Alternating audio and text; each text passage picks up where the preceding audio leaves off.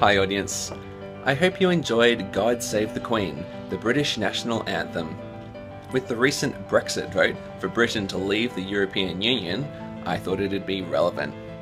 If you'd like the sheet music for this, you can get it in the description. And if you'd like to learn to play the piano online at your own convenience, you should check out this cool website called Piano University.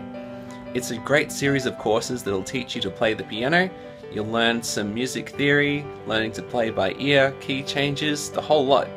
If you go for one of the subscription options, you'll get a lot more in-depth content and you'll also be helping out my channel. So feel free to check it out.